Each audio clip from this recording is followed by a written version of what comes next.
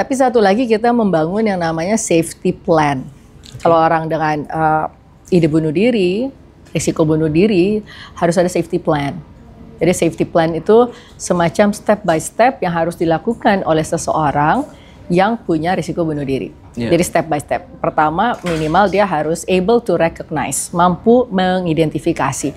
Dia ada orang yang uh, ada somebody who listens, hmm. somebody yang mengarahkan, somebody yang acknowledge bahwa masalahnya dia ada gitu tanpa judging gitu kan. Yeah, yeah, gitu. Yeah. Dan dia nyaman di situ karena dia tidak kenal ini siapa tapi dia yakin ini profesional. Pada yeah, saat yeah. rapid cycling, bipolar itu bisa rapid cycling. Jadi dia merasa worthless, merasa tidak berguna, tapi muncul uh, mood, uh, sorry, energi yang besar. Jadi determinasi dia untuk bunuh diri bersatu padu dengan dia merasa worthless hmm. itu bisa bunuh diri kejadian benar. Oke. Okay, okay. Itu bipolar bahayanya di situ di antaranya.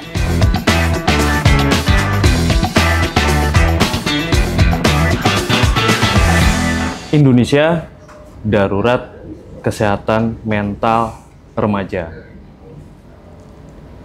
Ada banyak jenis, ada banyak macam gangguan mental, ada uh, gangguan kecemasan, depresi, gangguan bipolar dan lain-lain yang bahkan berujung pada uh, niat atau keinginan untuk uh, bunuh diri begitu.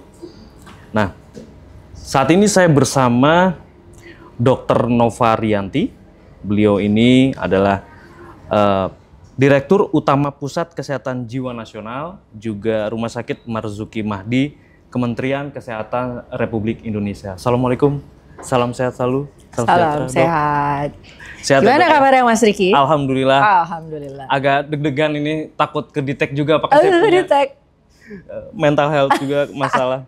Dok, yang baru saya sampaikan tadi, Indonesia darurat kesehatan mental remaja seperti apa dok? Sedarurat apa?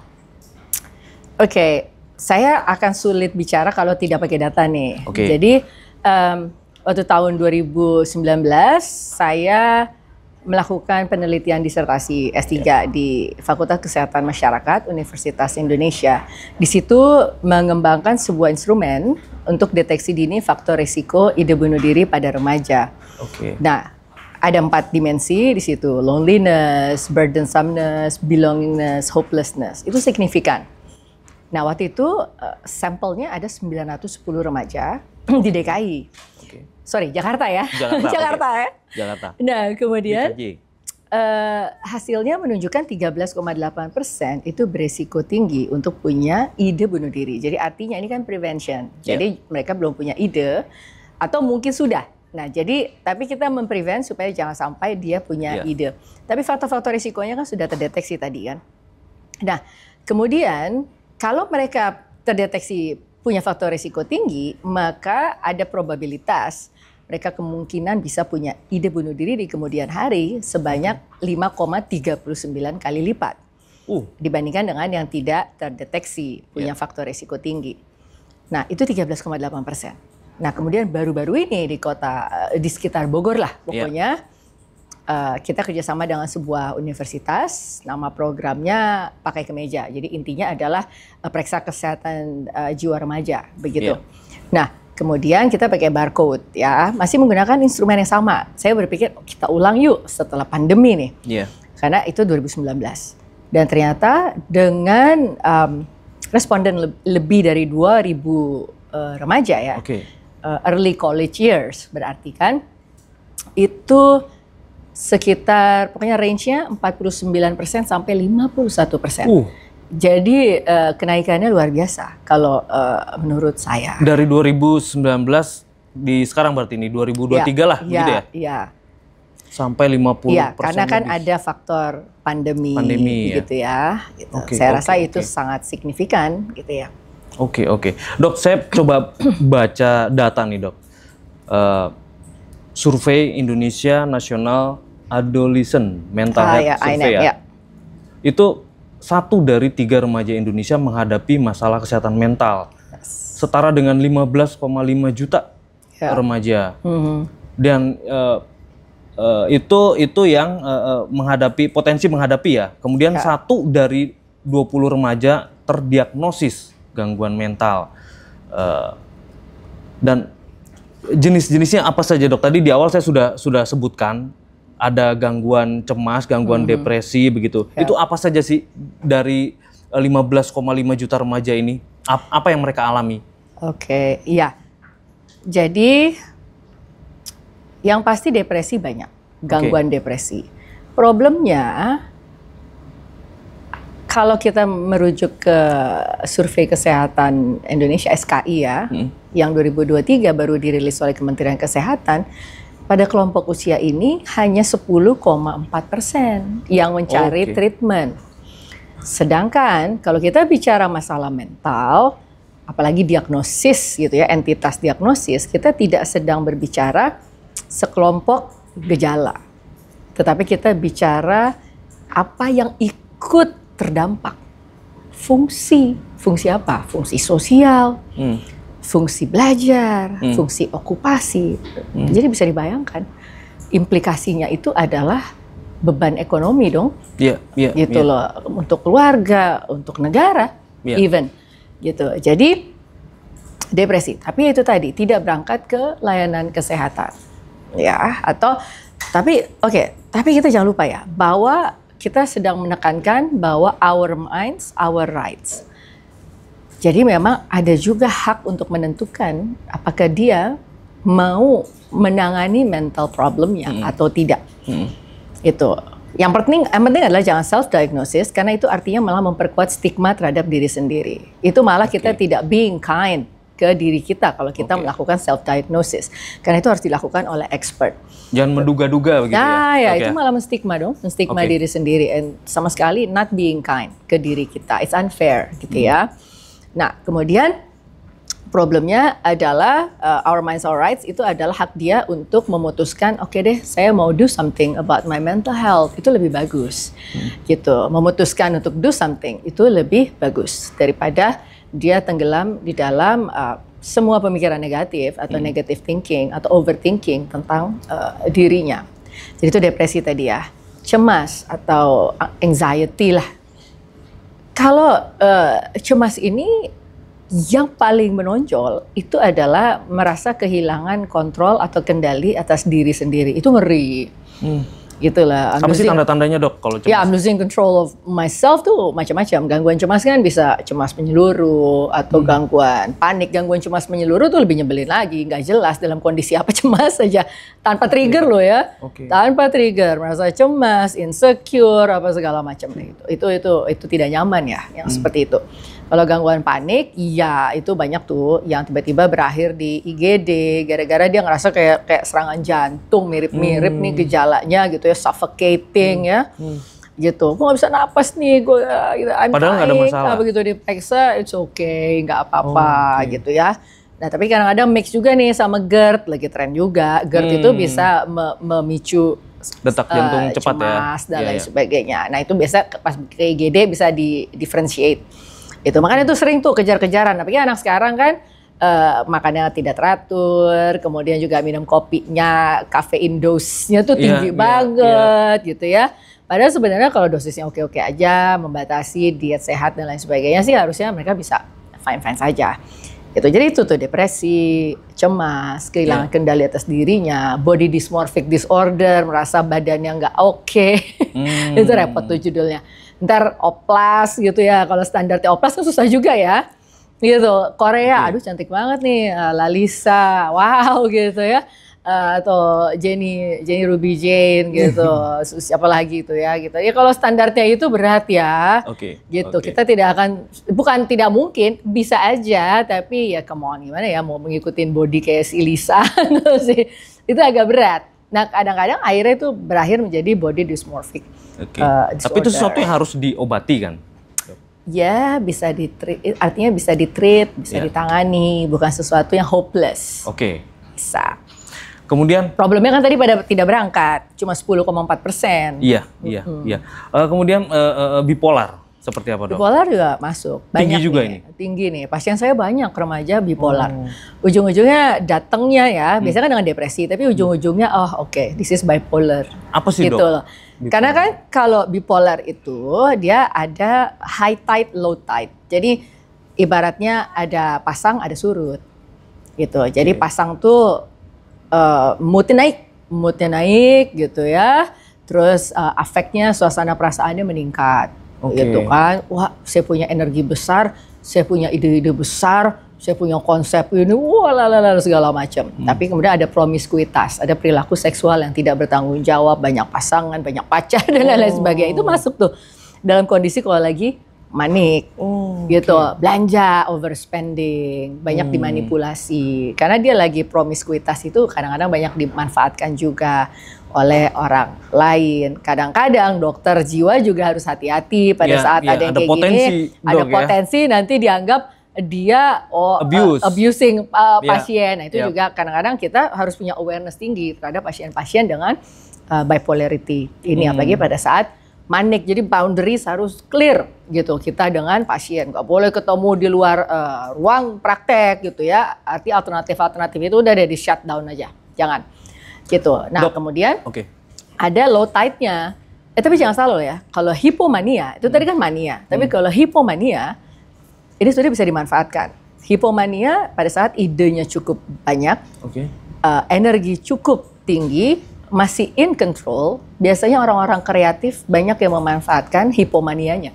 Oke, oke, oke, oke. Gitu. Banyak Bisa- banyak ahli-ahli, not not exactly expert, tapi uh, banyak orang-orang kreatif justru functioningnya pada uh, hipomania Iya, ini dia iya. bisa produktif. Menjadi hal yang positif begitu. Ya, tapi begitu drop ke low, uh, low tide, Hmm. di mana dia surut nih, ibaratnya laut, berarti kan moodnya semua turun, energi turun, produktivitas turun, pesimis dan lain-lain sebagainya. Nah itu yang bahaya, potensi untuk resiko uh, bunuh diri. Jadi Oh, jangan salah, nggak harus pada saat dia turun loh. Pada Iya, saat iya. rapid cycling, bipolar tuh bisa rapid cycling. Jadi dia merasa worthless, merasa tidak berguna, tapi muncul uh, mood, uh, sorry, energi yang besar. Jadi determinasi dia untuk bunuh diri bersatu padu dengan dia merasa worthless itu bisa bunuh diri kejadian benar. Oke, oke. Itu bipolar bahayanya di situ di antaranya gitu. Dok, kemudian kita kan ini ini eh, konteksnya koridornya masih di mental health remaja ya. Ya. Siapa kemudian yang harus mendiagnosa awal gitu ya bahwa eh, si remaja ini bipolar gitu? Apakah eh, eh, mereka sendiri mereka eh kok saya begini apa saya bipolar begitu? Atau keluarga juga harus eh, apa punya sense gitu mem- memperhatikan gitu Ya. putra putri mereka seperti apa dok? Oke, jadi kalau untuk remaja, karena kan mereka masih di dalam kelompok usia yang menjadi tanggung jawab orang tua yang artinya masih di dalam rumah harus ikutin aturan saya, begitu kan? Ya berarti orang tua harus memasukkan materi kesehatan jiwa di dalam pola asuhnya. Oke. Dulu pernah di Undang-Undang Kesehatan Jiwa yang dulu kita masukkan bahwa peran orang tua di antaranya adalah pola komunikasi. Itu pola asuh, pola komunikasi. Yap. Jadi cara berkomunikasi itu akan sangat berdampak. Makanya sering pada saat kita menghadapi pasien-pasien bipolar gitu ya, uh, mereka tuh kita tanya, dia akan bilang, my parents don't understand me, udah gitu aja terus. Hmm. Akhirnya yaudah deh, kita family therapy. Ya, dia ketemu keluarga, kita lihat pola interaksinya di depan kita Hmm. bagaimana mereka berkomunikasi, kita kan bisa langsung melakukan assessment. Oke, berarti pola komunikasi di antara mereka seperti itu. Tapi kita tidak bisa juga intervensi terlalu jauh kan kita tidak hidup bareng mereka. Tapi minimal kita bisa pelajari di situ dan kita berusaha merubah uh, style atau Ya. minimal menumbuhkan awareness dulu gitu Ya. kayak uh, did you realize what you just did gitu Yeah. cara komunikasinya what do you think about her reaction gitu kan Oke. itu jadi kita tumbuhkan dulu awareness itu nanti baru uh, karena ada beberapa sesi kan nanti baru kemudian kita mulai melakukan alteration atau perubahan-perubahan dalam pola komunikasi, Komunikasi, ya. tetapi stres dan lain-lain sebagainya yang uh, mungkin muncul dari lingkungan keluarga kita tidak bisa terlalu jauh Iya, intervensi iya, iya. begitu Tapi eh, eh, bagaimana atau atau untuk untuk remaja deh? eh, when do we know gitu? Kapan kita tahu? Oh, saya ini bipolar gitu? Atau bagi orang tua ciri-ciri yang paling kentara gitu, yang paling mudah untuk dilihat. Iya ya. Em, waktu itu pernah ada kasus eh, dia datang udah setahun ternyata masalahnya. Oke. uh, orang tua melihat ada penurunan prestasi, Oke. ya, terus tapi penurunan prestasi itu disikapi dengan orang tua membandingkan dengan anak temennya begitu loh. Oke. Jadi kayak kamu kok gak kayak anaknya si tante ini sih gitu kan? Iya. Ya saya juga pernah itu karena salah satu pasien adalah anaknya teman. Jadi saya juga memperhatikan medsosnya terus melihat wah anaknya hebat ya gitu. Hmm. Saya juga termasuk yang menilai gitu di medsos tuh hebat gitu anaknya. Tiba-tiba di ruang praktek saya lah gitu loh. End up-nya ya di ruang praktek. Terus saya bilang, wow, you really cannot judge a person through media sosial deh, nggak bisa kita me- menilai bahwa everything's okay. Terus kita menjadikan itu patokan gitu ya, karena reality tidak di situ ternyata. Jadi begitu di ruang praktek, that's reality. Iya, gitu, iya, bahwa iya. ternyata dia punya problem, penurunan prestasi, orang tuanya setahun denial dan masih bukan sorry, not denial. Ada juga yang denial, tapi kalau kasus ini bukan denial, justru ketidaktahuan Hmm. bahwa semua penurunan prestasi, uh, perubahan-perubahan, dia pikir itu sesuatu Normal yang gitu. normal, mungkin lagi ada, lagi kenapa sih? Kamu lagi kenapa sih iya, gitu? iya. Dibandingkan, kok anaknya tante ini bisa gitu loh. Nah, kita kan yang melakukan assessment. Gitu loh. itu malah memperburuk keadaan ya, Even membanding-bandingkan ya. worse, makanya sampai ke ruang praktek kita. Iya, Itu. Jadi gitu ya, paling gampang sih lihat dari prestasi belajar, perubahan perilaku, Perubahan perilaku. tidak mau lagi aktivitas yang kita kan melihat dulu di medsos aktif banget, oh keren banget sih anaknya, it all stop. Oke. Gitu, jadi udah setahun, ya aku kan nggak mungkin ya ngikutin medsos orang terus, tiba-tiba itu setahun rupanya udah berhenti Ya, gitu ya. loh. Di kasus itu dok kalau boleh Ya, tahu kan toh kita tidak sebut nama nih. Eh, penyebabnya apa di anak ini?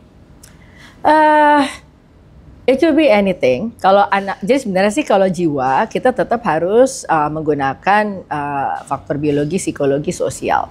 Oke. Jadi artinya kalau kita bicara faktor biologi, jujur kita masih uh, sangat tertinggal. Makanya sekarang di Rumah Sakit Marzuki Mahdi nih di Pusat Kesehatan Jiwa Nasional kita sedang melakukan studi preliminary untuk lebih memahami tentang peran genomik gitu ya, peran Oke. gen, Gen, dalam genetik. Problem jiwa. Tapi itulah itu ongoing. Nanti Oke. mungkin sesi lain ya kita Iya, bahas itu. iya.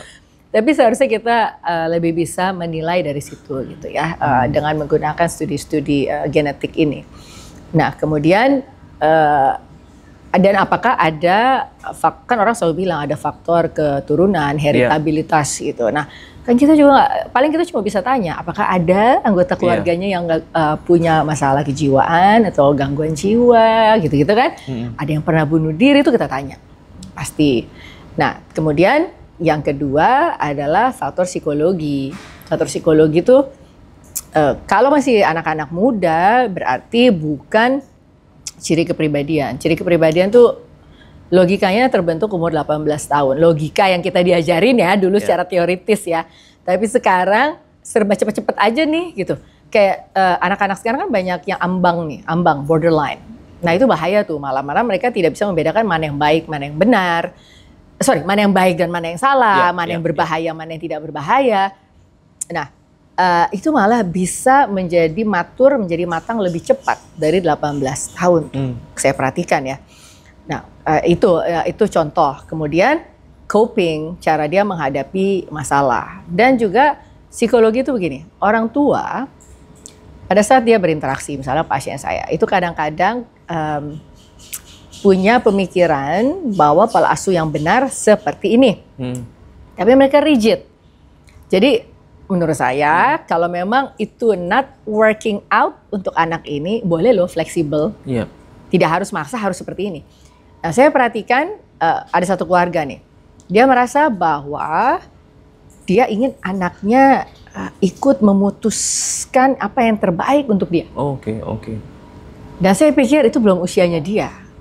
Gitu. Nah, jadi kayak di Terlalu terlalu di Oh, iya, iya, ya. iya, di stimulate. Itu pun nggak belum tentu bagus juga ya. belum tentu karena memang Oke. dia belum mampu kan Oke. untuk berpikir pikiran anak-anak muda nih mereka merasa omnipotent mereka masih wah gitu loh the world is my oyster lah gitu ya kemudian mereka senang adrenalin rush gitu kan masih abstrak berpikirnya Iya. terus tiba-tiba diajak berpikir tanggung jawab pusing Iya, dia iya. liar ya langsung Iya. diajak mikir begitu nah itu saya perhatikan justru dari terapi keluarga itu kelihatan tuh Hmm. gitu. Jadi anaknya orang tuanya belum ngomong udah nangis duluan gitu. Karena orang tuanya ngajak, what do you think? What what do you think that you should langsung anaknya wow nangis gitu. iya, iya, Karena ngerasa I don't know. Iya, iya, iya. Don't make me think that far Jangan gitu. sekarang gitu ya. No, gitu. Aku masih kecil gitu Oke, loh ibaratnya. oke. Ngerti kan? Jadi kadang-kadang orang tua juga harus mampu fleksibel Oke. untuk merubah kalau pola asuhnya it's not working out jangan dipaksain nggak usah dipaksain coba deh lebih fleksibel aja gitu ke Oke. si anak Saya garis bawahi komunikasi, Dok ya. yes It's a important dalam keluarga ya. Oke. Dok, kemudian kalau skizofrenia? skizofrenia itu kan gangguan jiwa berat berat tuh artinya gini bukan berarti depresi nggak bisa berat bisa Ya. karena bisa berakhir dengan bunuh diri itu berat cuma ini eh, skizofrenia berat karena begini karena dia sulit membedakan antara realita dan fantasi Di, Jadi- di teenagers kita ada kasus-kasus kayak gini? Ada banyak juga, Banyak? banyak. Oh. Jadi bahkan yang depresi Hmm. itu ada ciri-ciri psikotik juga, sorry, ciri-ciri psikotik ya. Jadi gini, psikotik itu ke- eh, berarti sudah mulai keluar dari realita nih, udah mulai masuk dunia fantasi gitu loh ibaratnya. Jadi dia depresi, tapi mulai ada bisikan, Hmm. halusinasi gitu, yang mana halusinasinya itu lebih menghina dia Hmm. menghina, kamu bego, gitu loh, kamu useless, kamu worthless. Udah deh kamu bunuh diri aja lah, gitu-gitu loh, suara-suaranya yang kayak gitu. Tapi begitu ditangani, entah depresinya atau bipolarnya itu masih bertahan. Jadi gangguan suasana perasaan, moodnya masih stay, tapi itu hilang duluan, gejala-gejala Oh. bisikan. Karena yang utamanya suasana perasaan. Tapi kalau skizofrenia, nuansa utamanya adalah si psikotiknya. Jadi yang tidak bisa membedakan realita dengan fantasi. Gejala yang paling khas, cardinal sign-nya banget lah dari skizofrenia itu ya halusinasi auditorik. Biasanya eh, ada bisikan-bisikan di, di telinga, halusinasi auditorik. Nah, itu itu yang eh, ya sorry to say kita sekarang sih sebenarnya sudah berusaha membuat program early psychosis. Jadi penanganan psikosis lebih dini. Hmm. itu. Jadi artinya di bawah lima tahun deh. Jadi kebanyakan tuh orang udah udah dipasung udah Iya, di mana udah di rukiah udah apa deh udah dilakukan ikhtiar tapi tidak berhasil. Tapi itu kadang-kadang bisa sampai lewat lima tahun gitu. Akhirnya seperti yang saya katakan gangguan jiwa tidak hanya bicara dengan kumpulan gejala tetapi ada gangguan-gangguan fungsi yang menyertai. Jadi semakin tidak cepat ditangani gangguan fungsinya pun makin menurun termasuk fungsi kognitif atau fungsi otak juga mengalami defisit atau penurunan. Gitu Iya, loh iya, itu yang iya. sebenarnya kita berusaha prevent gitu supaya fungsi dia eh, lebih bisa terjaga gitu kita preservasi gitu ya. Iya, iya. gitu. Oh, artinya juga eh, bentuk perawatannya harus integrated ya sama eh, sangat, bidang-bidang lain sangat, ya? sangat, sangat, sangat, sangat, sangat terintegrasi. Makanya kita tidak bisa hanya bergantung pada obat, Iya. gitu ya, atau psikofarmaka. Tetapi harus ada minimal psikoterapi. Psikoterapi itu sebenarnya bentuk terapi wicara antara terapis dengan klien atau pasien yang mana mereka sepakati. Misalnya ini anak punya gangguan panik atau punya ya gangguan cemas lah dan punya eh, serangkaian negative thinking gitu ya Iya. negative thoughts, irrational belief, udahlah ovulizing, overthinking dan lain sebagainya. Kita mau benahi itu. Hmm. Tapi kita harus bilang sama dia, nanti kita 8 sesi ya. Itu kita lakukan cognitive behavior therapy atau terapi untuk merubah perilaku lewat kognitifnya dia. Iya. Itu. Nah, tapi itu harus eh, agreement dari awal. Nah, ini contoh, ini contoh psikoterapi. Di antaranya CBT itu tadi. Hmm. Nah, kemudian rehabilitasi psikososial. Kalau kondisi pasien sudah lebih stabil, ada standar-standar tertentu lah ya secara penilaian medis yang mengatakan, oke, ini sudah bisa rehabilitasi psikososial. Jadi kita harus merehab. Gitu. Nah, rehab itu di antaranya adalah ya eh, dia bisa ikut pelatihan, pelatihan apa misalnya. Ya bikin kue kek, bikin Iya, kopi kek, apa, cocok tanam, bikin arts and craft gitu ya. Tidak harus menghasilkan ekonomi atau token ekonomi, artinya tidak harus menghasilkan uang. Dia berhasil memproduksi sesuatu saja, a creation yang dia bisa lihat Yap. itu bisa empowering ke dia. Oh ini bisa. Jadi artinya the process itself itu healing pada saat dia berkreasi. The fact that dia bisa menyelesaikan itu empowering buat dia. Gitu. Jadi healing and empowering gitu. Kalau kita melakukan rehabilitasi psikososial ke uh, pasien-pasien. Skizofrenia biasanya memang kita banyak sekali latihan angklung di Marzuki Madi. Yeah. Makanya pasien Sandiaga Uno kan kemarin sempat mampir tuh uh, uh, melaunch program dia juga dengan kita gitu. Ya tujuannya adalah musik. Gitu, lewat musik Hmm. juga ada. Jadi pasien-pasien kita pakai angklung. Gitu. Dok, berbahaya nggak sih pasien-pasien skitso ini untuk lingkungannya? Oke, sekarang begini. Eh, mereka dalam kondisi eh, insight into illness-nya rendah misalnya. Jadi kesadaran dia tentang penyakitnya rendah. Bahkan dia tidak sadar kalau dia punya gangguan jiwa. Jadi bisa bayangkan dong, orang tidak sadar bahwa dia tidak sakit. Eh, dia dia sakit. Iya. Gitu. Jadi menurut dia apa yang dia lakukan fine fine aja. Benar. This is my world. Iya, Gitu. Jadi kan iya. dia heboh di dunianya gitu loh di dalam kapsul dunia dia. Paham, paham. Yang mana ya sebisa mungkin itu jangan masuk ya di kapsul itu kan. Gitu. Nah, that's the disease. Itu Iya. penyakitnya. So our way itu adalah membuka kapsul itu. Udah keluar keluar gitu, jangan di dalam terus gitu ya. Get out, get out, get out gitu. Keluar dari kapsul itu gitu. You don't wanna be stuck there. Itu yang eh, kamu stuck di situ. Jadi bayangkan ada bisikan yang sebenarnya nggak ada sumber suaranya. Ada ketakutan, ada yang mau menyakiti, atau ada merasa orang penting padahal bukan orang penting. Itu banyak tuh yang kayak gitu tuh. Nah terus, nah itu kita mau keluarin, kita keluarin dari kapsul itu. Itu, itu bentuknya ya, maksudnya Iya. ibaratnya gitu kan, gitu ya. Sederhananya kayak begitu, kebayang, Iya, kebayang, kebayang. keluar gitu Iya, ya, buka iya. cet, nah, udah gitu kan. Itu intinya adalah kita berusaha mengeluarkan dari situ. Karena kalau dia terus di situ, nah ya itu bisa berbahaya. Karena misalnya dia yakin, ini orang mau nyakitin saya, dia Iya. yakin banget. Dia akan defense dirinya dong Iya. dengan melakukan apa pun. Ada orang lagi tidak ngomongin dia, tapi dia yakin lagi diomongin Iya. gitu loh. Itu bentuk-bentuk uh, thought broadcasting, thought insertion ya, pikiran-pikiran yang seperti itu. Dia ngerasa lagi diomongin, padahal nggak diomongin, dia hajar itu orang. Iya, Kamu iya, ngomongin saya gitu, hah? Gitu. Kayaknya lagi berdiri deh, saya nggak ngapa-ngapain. Mungkin bentuknya, eh, mohon maaf, seperti eh, ODGJ yang di jalan misalkan, mereka melempar apa begitu iya. ya? Karena kan dia kan emang dia tidak merasa dia sakit, dia tidak merasa dia salah. Iya. Jadi memang eh, daya nilai dia tentang sosial itu juga tidak bagus. Nah, semakin dia mengalami perbaikan untuk reality testing ability, kesadaran dia tentang realitas semakin bagus, kemudian insight kesadaran dia tentang penyakit semakin bagus, yaitu perlahan-lahan dia akan menyadari daya nilai sosial dia juga menjadi bagus bahwa itu nggak boleh loh. Iya. Jadi ini nggak boleh nih. Kalau lagi dia akut mana bisa dibilangin itu salah itu salah apaan gitu. Dia lagi di dalam kapsul yang kita nggak bisa masuk ke dalamnya. Iya. Kayak gitu. Berarti penanganannya harus apa? eh, di apa bahasanya? Harus di Kalau yang akut ini memang harus dengan obat. Oke. Memang harus dengan obat. Gitu. Karena kan biar bagaimanapun neurotransmitternya kan harus eh, mendapatkan asupan gitu Iya, loh dari iya. obat untuk neurotransmitter.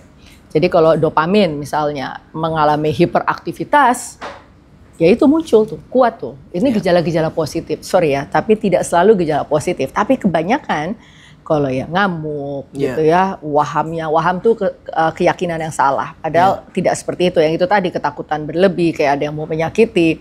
Kemudian merasa dia orang hebat, padahal ya bukan. Dia merasa ini, dia merasa nabi, dia merasa Tuhan bahkan gitu.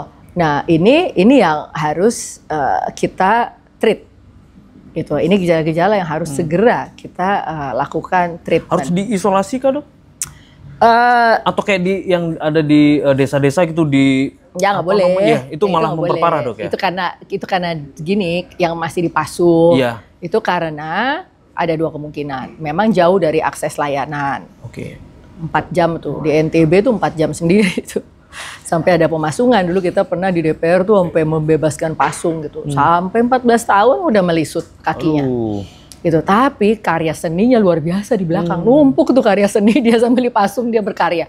Tapi dia contoh sukses dari pembebasan pasung loh. Eh, waktu beberapa tahun kemudian saya cek dia udah nyicil rumah. Itu luar biasa deh. Sembuh total. itu aku nggak tahu sekarang, cuma artinya dalam di follow up berapa tahun tuh bagus gitu Iya. loh. Tapi kan kita udah lama ya, itu udah 10 Dia, dia tahun bisa yang nyicil lalu. rumah. itu bagus kan, Iya, iya, iya. luar biasa banget gitu. Artinya jangan-jangan karena creativity itu dia bisa menghasilkan. Iya, iya. Gitu. Nah jadi em, ya ini ini ini contoh-contoh kenapa akhirnya terjadi eh, pemasungan jauh dari akses, ketidakpahaman bahwa itu gangguan jiwa, dikira ini lagi kesambet, kesurupan, disantet, dipelet gitu kan, iya. gitu. Padahal sebenarnya itu adalah gangguan jiwa yang sedang dialami, tapi kita nggak tahu keluarganya, sorry keluarganya tidak Iya. tahu mungkin karena ekonominya rendah, jauh dari akses informasi, eh, ilmu eh, kelas pendidikannya juga tidak cukup untuk dia bisa memahami ini bahwa gangguan jiwa tuh ada gitu kan. Iya. Nah, atau sudah bolak-balik menjalani treatment, tapi treatmentnya mungkin kurang tepat. Bisa saja kurang tepat itu bisa kenapa kita tadi butuh genomik. Tadi tes genomik itu di antaranya adalah farmakogenomik, menilai apakah obat yang kita berikan sebagai psikiater itu obat yang Sudah tepat. tepat. Apakah dosisnya cukup? Apakah dosisnya kurang? Atau jangan-jangan kontraindikasi tidak boleh obat ini? Nah itu Iya. yang belum. Ini yang lagi kita rintis di Marzuki Mahdi nih bersama dengan BGSI-nya eh, Pak Menteri di Kementerian Kesehatan.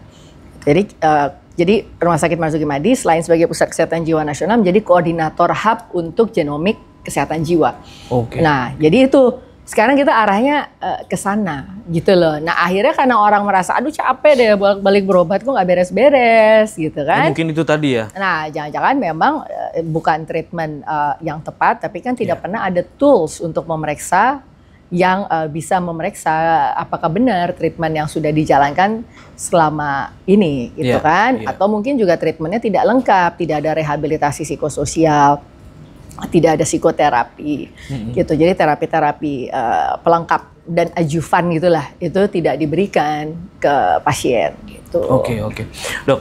Saya coba eh, tarik sebelum saya mau ke pusat eh, kesehatan mental eh, RS eh, Rumah Sakit Marzuki Mahdi.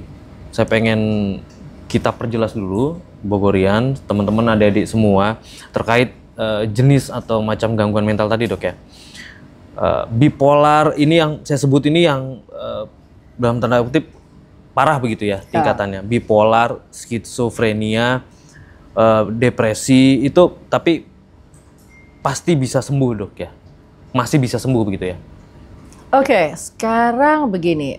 eh I believe so ya. Saya harus percaya. Ya. Kalau saya tidak percaya, kasihan ya. Yap. Gitu loh. Eh, sebagai direktur utama Pusat Kesehatan Jiwa Nasional, I have to be optimistic. Gitu. Karena kita kan sedang paving nih. Leapfrogging ya. Leapfrogging. Ya loncat deh. Ini kayak loncatan katak ke depan untuk psikiatri presisi itu tadi. Jangan-jangan selama ini dia sulit sembuh, mudah kambuh. Ya. Karena memang belum tepat. Karena teknologinya belum sampai. Dan bukan Ya. cuma di Indonesia, jangan salahkan Indonesia. Di negara mana pun banyak yang belum sampai ke sana. Gitu. Nah ini makanya Indonesia juga mimpi leapfrogging. Tapi kita harus mulai dengan eh, mimpi itu. Jadi jangan cuma optimis, tetapi langkah-langkah dirintis. Ya. Doa ini kok jadi pantun. Eh, jangan cuma optimis, tapi langkah-langkah dirintis. ya? Iya, iya, iya, iya. It rhymes gitu Ya. ya. Jadi eh, kita mulai eh, merintis ke depan eh, apa yang harus kita lakukan untuk lebih melengkapi eh, kemampuan kita untuk menangani pasien dengan lebih baik.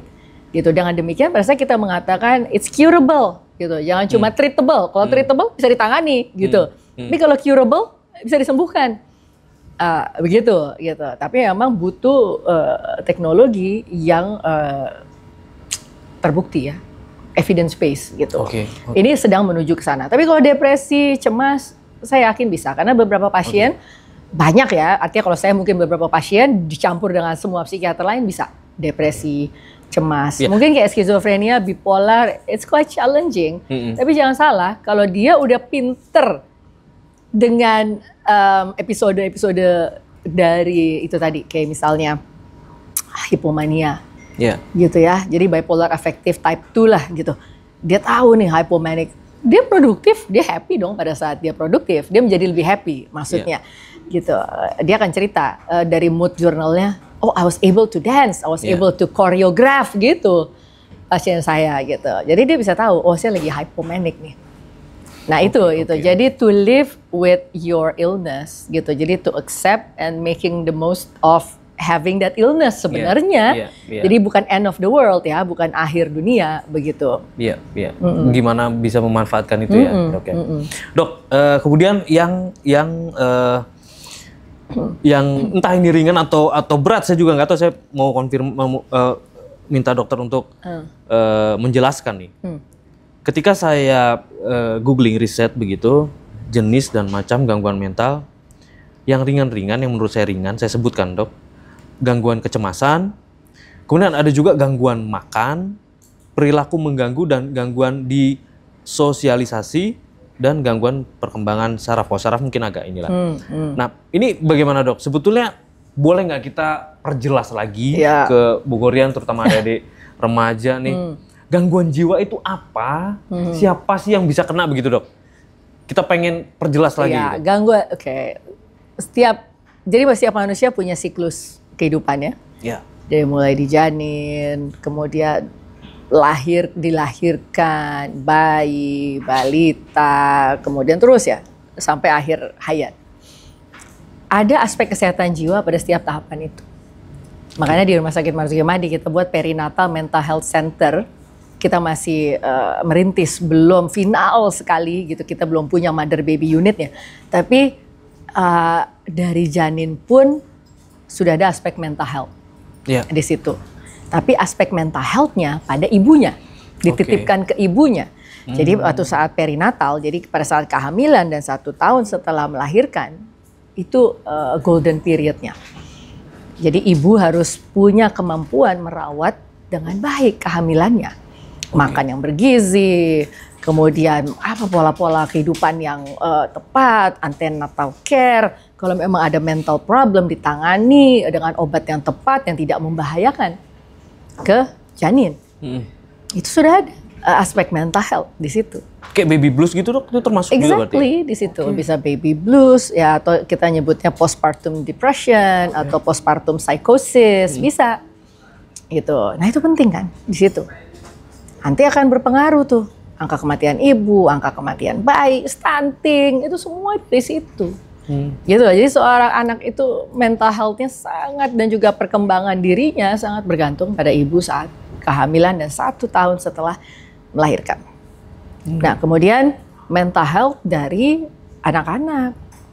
Gitu ya, artinya dia apakah sebenarnya anak-anak ini it's about time Ya. untuk mereka mulai sekolah misalnya. Kan sekarang cepet-cepet banget nih anak-anak nih sekolah nih. Ya. Aduh, pusing saya ngeliat cucu eh, cucu. Bukan saya udah punya cucu karena keponakan saya punya anak.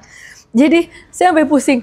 Ini enggak, ini yakin nih anak umur segini udah pada boleh nih kayak begini aktivitasnya ya Iya, kan? iya. Tadi kita zaman dulu lebih natural aja gitu kan hidupnya gitu. Sekarang Iya. kita jadi terbingung-bingung lihat terbagongkan ya istilahnya. Ngeliat anak-anak ini nih ngapain sih kerucil-kerucil ini udah Iya, pada iya. wow gitu. Eh, udah complicated banget ya hidupnya gitu kan. Nah itu. Nah jadi di situ mental health juga udah ada di situ Iya, iya. gitu. Termasuk kayak orang tuanya yang seneng travel pada anaknya dalam perkembangan gitu. Hmm. Orang tua merasa dia bonding sama anaknya. Anak kecil belum ngerti lah dia masih kecil dibawa ke berbagai belahan eh, dunia ini Iya. belum paham lah. Gak akan inget ya nanti juga waktu besar. Tapi kan apa ya di situ orang tuanya mengatakan, oh ya gitu lagi bonding dan pengen punya eh, pengalaman travel sama anak ya. Kita sih lihat aja gitu kayak, well dia nggak akan inget sih nanti Iya, gitu ya. iya. Kayak, ya, nah itu kan berarti kan si anak sebenarnya punya tahapan psikososial dalam hidupnya dia. Kalau Freud ada tahapan psikoseksual dalam hidupnya. Tapi em, ada unsur parents yang memutuskan kan Iya. di situ gitu. Nah ini contoh anak- anak-anak sekarang kan uh, udah travel, udah umroh, udah apa kayak, hah yakin tuh anaknya dibawa umroh umur. Misalnya ini Iya. decision loh ya, Iya, yang mana iya. si anak tidak punya hak to decide. Itu kemudian masuk sekolah, masa sekolah, ada bullying tidak Iya. di sana, gitu kan? Anak-anak kecil suka lumayan tuh, lumayan agak ga- ganas-ganas juga tuh kalau ngebully di sekolah gitu. Pasien saya banyak yang dari SD terdampak oleh mungkin orang tuanya Iya. ngomong ke anaknya, kamu jangan main media loh, orang tuanya di medsos begini, Hmm. misalnya. Udah tuh si anak diperlakukan. Akhirnya apa? Muncullah berbagai problem mental pada si anak. gitu pengen bunuh diri gitu malu di sekolah prestasinya terganggu nggak mau berangkat ke sekolah ada yang sampai megang kunci mau ke roof sekolah gitu gara-gara perlakuan teman-temannya yang mengucilkan dia yeah. mendegrade keluarganya itu dari kecil bisa tuh SD sekarang hmm. gitu kemudian SMP mulailah yang udah ada apa hormonal charge yeah. ya udah mulai tuh mulai naksir, yang gak ditaksir stres, dia kan gitu ya, cakep salah, jelek salah, gemuk salah, kurus salah gitu kan, pinter salah, blon salah yep. gitu kan, itu masa serba salah tuh, mulai tuh SMP. Jadi bayangkan ya bisa depresi, ya bisa cemas, merasa insecure, merasa self esteem rendah, iya kan? Yeah. SMP tuh mulai. SMA menjadi murid ideal salah.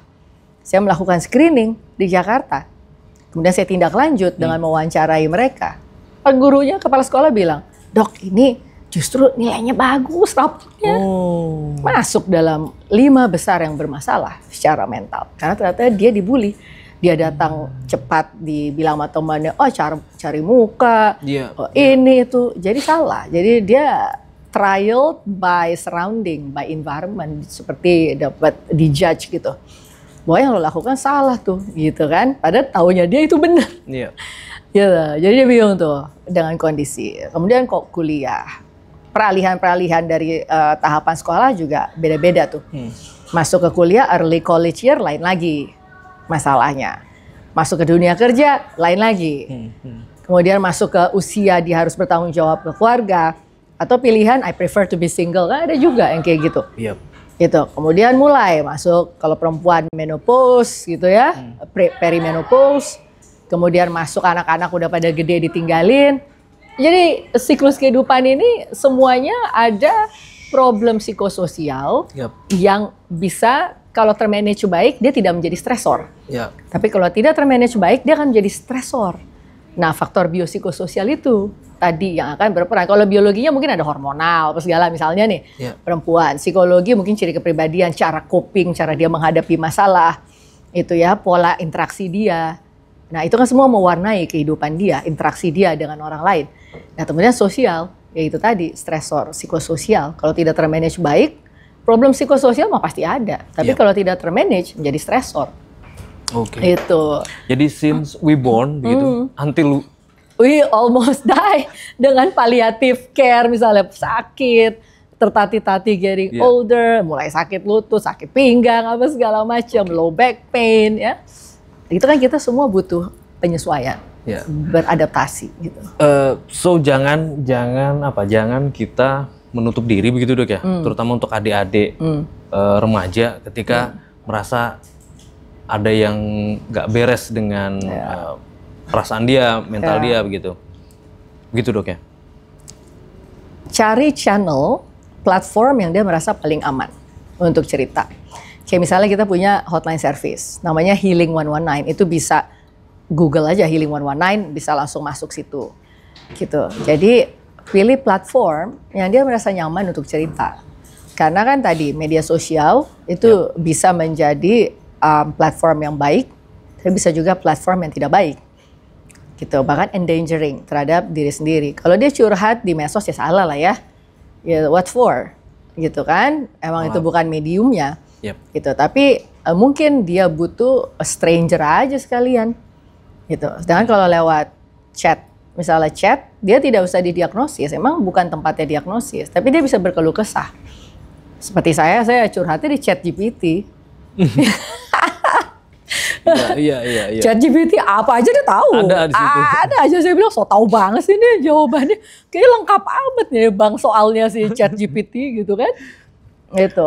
At some point ya memang kita harus curhat. Yeah, Dan cari yeah. platform yang paling nyaman, aman okay. buat diri kita. Kenapa kita harus dalam upaya menjaga mental health kita risking our safety? Mm -hmm. Pusing amat gitu. Cari yang paling aman. Makanya sekarang ada hotline misalnya di kita gitu kan atau sesi pertama ke Marzuki Madi datang tapi berikutnya telemedicine aja pasien saya banyak loh yang telemedicine dari parkiran hmm. kampus sesempatnya dia lah yeah, yeah, gitu yeah. dibuat gampang aja banyak sekarang cara-cara konsultasi oke okay, okay. dan gak usah pusing aturan yang mikir aturan dokter sama rumah sakitnya aja gitu ya Yang penting kamu sembuh. Udah, kamu ikutin aja. We we have options, so you Oke. decide mau pakai yang mana gitu Oke. aja. Dok, saya mau pertegas lagi dok Hmm. eh, tadi. Jadi sebetulnya Bogorian teman-teman adik-adik kita semua nih, eh, Bogor tuh beruntung loh. Bogor itu punya pusat kesehatan jiwa nasional. Jadi rumah sakit Marzuki Mahdi itu pusat kesehatan jiwa nasional, secara Ya. nasional loh. Dan ya kena itulah kenapa saya hadirkan Dr. Nova hari ini karena beliau itu direktur utama dari Pusat Kesehatan Jiwa Nasional. Dan nanti pasti eh, kalau yang mau bertanya-tanya, terus gimana sih kita konsultasi, bagaimana caranya, channel-channelnya tadi seperti apa disebutkan. Saya saya mau tanya dulu yang paling saya tahu pasti ada di benak semua, dok. Kalau untuk konsultasi kemudian eh, eh, eh, berobat eh, masalah kesehatan jiwa, ditanggung BPJS nggak sih? Ditanggung. Tuh ditanggung. Ditanggung BPJS. Tergantung masuknya ke mana lo ya. kalau ke poli eksekutif itu otomatis biaya Oke. sendiri. Ya, kalau Tapi di kalau poli- dia pakai rujukan Ya. ke BPJS itu. Tapi kalau akut UGD langsung nggak perlu rujukan. Tuh, kalau- Ya udahlah itu BPJS. Tapi Ya. BPJS tolong jangan kebanyakan pending pembayarannya. Sakit kepala kita ini gitu Ini kan. curhat juga kita. Eh, curhat. Tapi untungnya Prof Gufron di Iya. BPJS lumayan lah. Oke, Begitu oke. kita WA langsung saya telepon BPJS Iya. Bogor gitu. Penting loh BPJS karena ya itu tadi faktanya Indonesia lagi darurat kesehatan mental remaja ya dok ya. Makanya kita buat ada satu inovasi baru yang kita Oke. buat. Tidak semua rumah sakit jiwa atau kita menyebutnya sekarang rumah sakit umum dengan unggulan jiwa atau unggulan kesehatan jiwa. Hmm. Tidak semua punya lahan luas. Rumah sakit Marzuki Mahdi lahannya 57 hektar. Iya, iya. Kita punya lapangan golf heritage peninggalan Belanda. Hmm. Itu 9 hole. Jangan dibawa pusing. Kalau kurang panjang dua kali muter 18 hole jadinya gitu kan. Kemudian kita ada indoor badminton. Oke. Kemudian kita punya lapangan volley 2. Kita punya lapangan bola ukuran FIFA dong. Hmm. Gitu. Kemudian kita punya eh, basket. Iya. Kita punya meja biliar. Semua untuk sports gitu ya. Iya. Jadi sekarang kita kembangkan inovasi namanya Youth Mental Health Center. Jadi pusat kesehatan jiwa remaja Iya. yang mana eh, itu kita sandingkan dengan program sports psychiatry Hmm. gitu. Jadi eh, ada juga di pusat pengembangan kompetensi kita ada life skill training. Jadi pelatihan untuk keterampilan hidup. Karena sekarang gini lah, kita kan dulu ditempa oleh pengalaman, ditempa oleh bullying. Kalau saya ingat Ya. ya kita ini SMP dulu tuh sadis-sadis tuh teman-teman SMP saya ya. tuh. Kalau ada yang lewat, eh, badak, bemo, Iya, gitu ya, parah, waduh, waduh, fisik banget parah, tuh fisik kita banget. SMP tuh kalau Hmm, bercanda hmm, kan. hmm. Tapi jangan samakan zaman. Zaman Iya. tuh udah berbeda gitu loh. Mungkin di zaman kita sadis kita eh, bisa. Nah, Iya. sekarang beda karena apa? This is digital native. Mau gimana dong? Hmm. Gitu loh, ini digital native, zaman berubah, modernitas, itu semua akan merubah lah. Hmm. Gitu loh, pola eh, kehidupan, interaksi, cara komunikasi antar manusia. Jadi kita nih yang tua-tua menyesuaikan dong. Iya, Jangan sibuk aja bilang, "Oh, zaman gue gini gak bisa." Nggak bisa. nggak bisa. Nggak boleh. Justru kita coba, we try to understand apa sih kesulitan mereka. Sampai kan J.K. Rowling bilang, kita ini salah kalau kita yang tua-tua lupa apa rasanya menjadi muda. kita pernah muda gitu loh. Jadi makanya program kita di salah satu universitas di sini, kita bukan pakai pen and paper lah screening. Maksudnya bagiin kertas sudah nggak cocok. Iya, iya. gitu. iya. Kita punya program barcode. Hmm. Jadi barcode-nya ditempelin di, tembok-tembok kampus. Jadi tinggal track barcode, isi screening, terus satu lagi barcode-nya untuk edukasi kesehatan mentalnya. Iya. Your mind's your rights. Kamu ngapain? Kamu punya BPJS, kamu daftar ke kita. Ini daftar dokternya kita tampilin siapa aja. Iya. Itu loh. Terus kamu mau apa? Mau ke Healing 119, cuma mau konsultasi. Bukan konsultasi, curhat. Hmm. Silakan ke situ. And it's free. Gitu. It's free. Oke. free Satu- free for user not for us. It's okay. Oke. Itu struggle kita, gak apa-apa gitu loh. We have Oke. to do something for the community. Terutama anak muda itu butuh banget ya. Ya. Itu. Nah kalau life skill, nggak semuanya itu juga berbayar. Karena misalnya apa? Kita ini pengampu loh. Kita mengampu 269 rumah sakit. Gorontalo itu kita adakan semua secara gratis. Bayangin, kita melakukan survei ke sana. uh, untuk yang tadi ya deteksi dini faktor resiko hidup bunuh diri kita ke sana. Kedua kita memberikan pelatihan life skill. Kita taruh di hotel satu minggu uh, anak-anak mental health champion dari SMA SMA. Hmm. Karena apa? Ini wilayah diuntungkan sebagai wilayah pengampuan dari kita. Hmm. Rumah Sakit Marzuki Madi gitu. Jadi sebenarnya ya bersurat aja sih ke Rumah Sakit Marzuki Madi kalau memang sekolahnya butuh screening dan follow up. Oke. Okay. Kemarin kita baru acara di Balai Kota tuh kita kan ada mobile mental health service. Hmm. Jadi mobil kita turun, kita melakukan stress test. Hmm. Ada alat namanya HRV stress test. Jadi pegawai-pegawai tes tuh. Ini pada stres atau enggak gratis. Oke, okay. untuk ASN. Gitu. Kemarin pas yang di balai kota kan okay. ASN ASN nih yeah, lagi yeah, pada yeah. mau dites gitu yeah. kan. Gitu. Jadi kita melakukan outreach, penjangkauan hmm. ke masyarakat gitu loh. Jadi masyarakat tuh harus tahu juga gitu ya jiwa itu nggak hanya kita dokter dukun gitu ya yeah, oh yeah, oke yeah, yeah. lihat lihat aja pandang-pandang enggak kita punya alat langsung kita pakai alat di sini dia bisa langsung uh, menilai secara sistem saraf otonom simpatis parasimpatis itu kelihatan tuh hmm. gitu Kalau loh bos stres stres itu ada kaitannya sama fisik yep. gitu loh dan yep. itu terbaca ini yang berusaha kita sosialisasikan ke masyarakat makanya kita gunakan alat HRV stress test gitu bahwa stres kamu tuh kedetek yeah. secara fisik nih ketahuan yeah. gitu loh nah itu penting gitu jadi jangan membedakan bahwa mental tuh mental aja fisik tuh fisik aja no itu justru uh, sangat berbahaya ya kalau pasien depresi misalnya hmm. sorry atau skizofrenia deh skizofrenia yang uh, gejalanya negatif menarik diri diam gitu ya itu nggak masuk tidak ada hmm. intake makanan Pernah hmm. tuh dia datang turun semua, elektrolitnya turun, dehidrasi, tapi nggak mau makan. Yeah, yeah. Gitu kan, akhirnya terpaksa infus dan lain-lain sebagainya gitu. Dan siapa bilang tidak membahayakan fisik kan, sangat erat kaitannya dengan kesehatan fisik gitu. Termasuk ya itu tadi bisa kebunuh diri kan. Yeah. Gitu.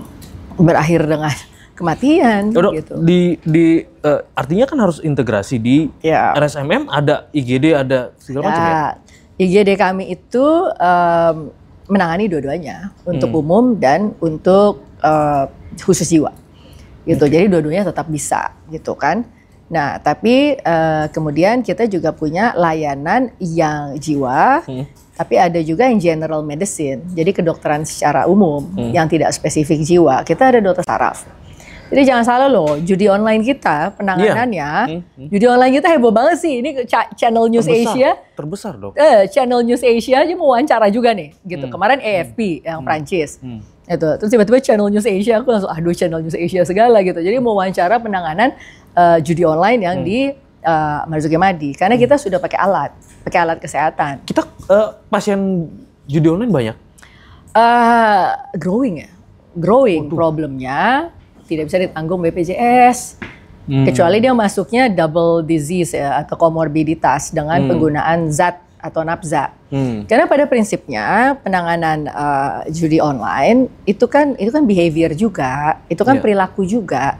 Bedanya yang satu menelan sesuatu atau consuming sesuatu hmm. masuk ke tubuh, kalau ini bermain-main di um, pathway di otak yang enak aja yeah, yeah. rasanya gitu kan gitu ya, Kons mental health tuh. iya ya konsep yeah. enak di otak itu kan kalau enggak nggak ada buku uh, dopamine addiction ya iya iya, iya sekarang yeah, kan yeah. ada tuh buku tentang adiksi dopamin karena kita hidup berkelimpahan semuanya ada Yep. Ya, gitu, gitu orang merasa ini nggak punya, oh, udah kita berkelimpahan malah hidup yang mau ini tinggal ke salah satu ini pesan makanan semua bisa tuh. Iya. Pengen ini apa sih nggak bisa sekarang gitu loh semua ada gitu loh.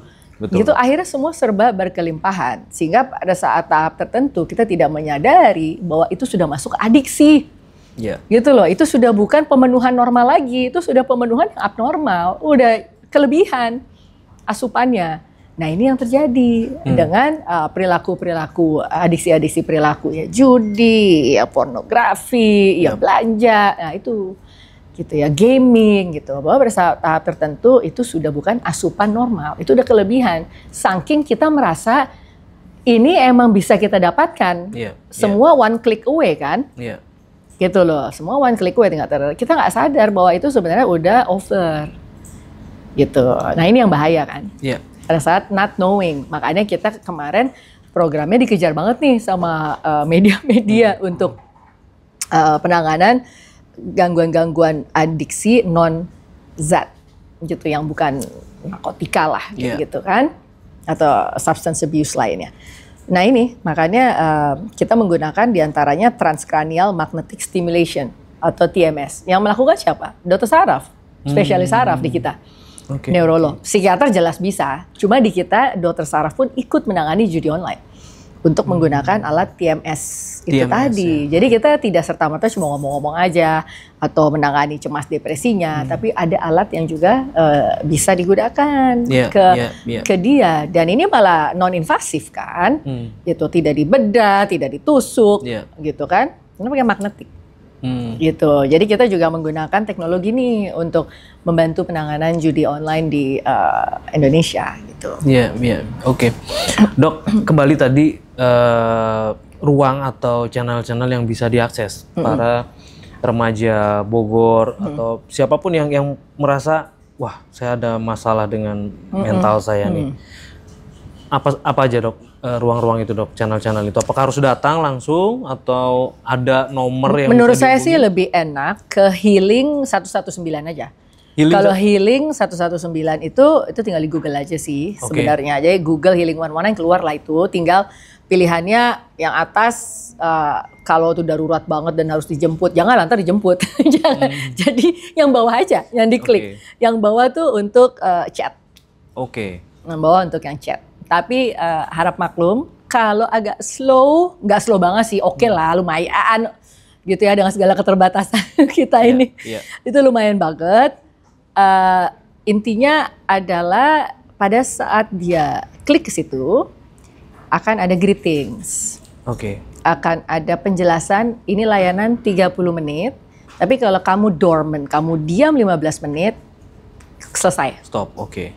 Lebih lama ya kalau uh, uh, yang lain kan online online tuh pesan makanan online komplain kan tiga menit udah setelah tiga menit gitu ya kita tutup komunikasi gitu yeah, kan. Kalau ini yeah. 15 menit masih ditunggu gitu. Jadi masuk ke situ langsung ada greeting akan ada template biodata agak sabar harus isi dikit aja gitu. Hmm. Kalau kita tidak tahu sama sekali dong yeah, tentang yeah.